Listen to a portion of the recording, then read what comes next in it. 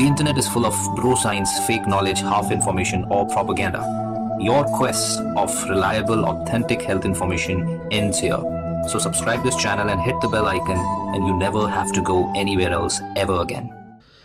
Hello everyone नमस्कार आदाब सत श्री अकाल कैसे हैं आप सो so, शुरू हो गया है डेंगी डेंगू का सीज़न तो आज जानते हैं what are the symptoms of dengue ताकि आप डायग्नोस कर पाएँ और मिस ना कर जाएँ और ट्रीटमेंट के बारे में आज ही बातचीत करेंगे माइल्ड डेंगू और सिवियर डेंगू। सबसे पहले आपको कुछ फैक्ट्स जानने ज़रूरी हैं। ये ध्यान में रखिए, डेंगी एक मच्छर से होता है, लेकिन होता है वायरस से और चार प्रकार के वायरस होते हैं। डिटेल्ड वीडियो हमारा इस टॉपिक पे मौजूद है और भी कई डिटेल वीडियो आएँगे। सो स्टे ट्यून्ड अगर इस चैनल को आपने सब्सक्राइब कर नहीं रखा तो कर लेना है।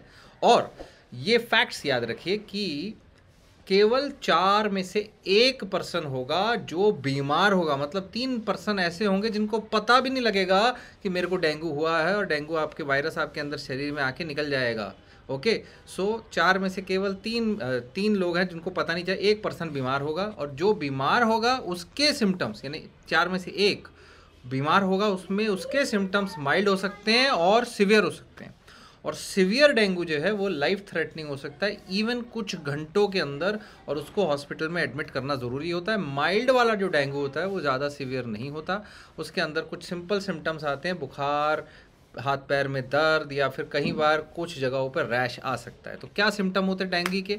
डेंगी फीवर के अंदर आपकी सबसे बेसिक सिम्टम होता है बुखार फीवर और वो जो आता है आपका फीवर के साथ साथ नौशिया वॉमिटिंग आ सकता है, किसी को रैश हो सकता है, किसी को बॉडी में या इधर उधर पेन हो सकता है, आँखों में दर्द हो सकता है और कोई वार्निंग साइन आने के चांस होते हैं, ठीक है?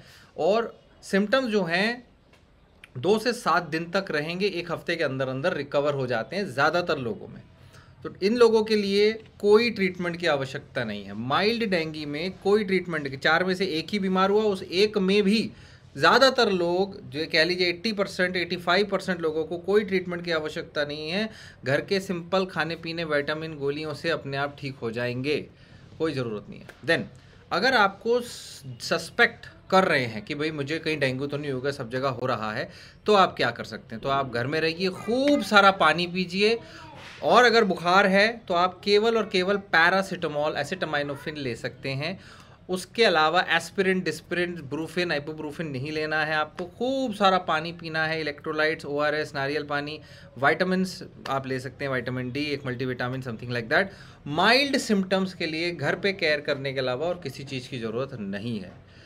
सिवियर डेंगू 20 में से किसी एक को होगा, ठीक है?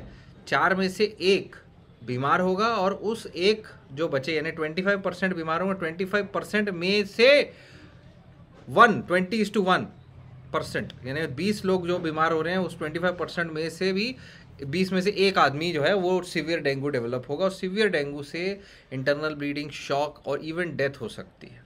और सीवियर डेंगू जो है, वो वायरसेस के हिसाब से देखें तो चार प्रकार के वायरस होते हैं। पहली बार ये ए वायरस हुआ, दूसरी बार बी हुआ, तब मिक्स मैच में ज़्यादा चांसेस होते हैं। छोटे बच्चे जो होते हैं और प्रेग्नेंट लेडीज़ होते हैं उन पर ज़्यादा रिस्क होता है सिवियर डेंगू होने का।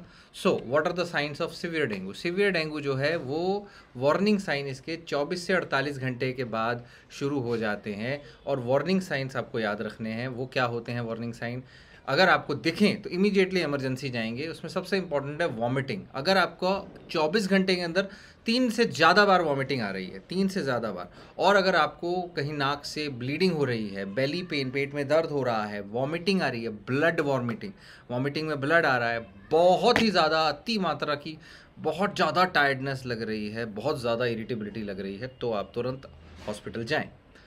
ऐसे कंडीशन में जो सिवियर डेंगू का ट्रीटमेंट होता है दैट इज़ बेसिकली आप हॉस्पिटल में जाते हैं इमरजेंसी रूम में एडमिट होते हैं और वहाँ पर IV fluids IV treatment injectable treatments आपको दिए जाते हैं।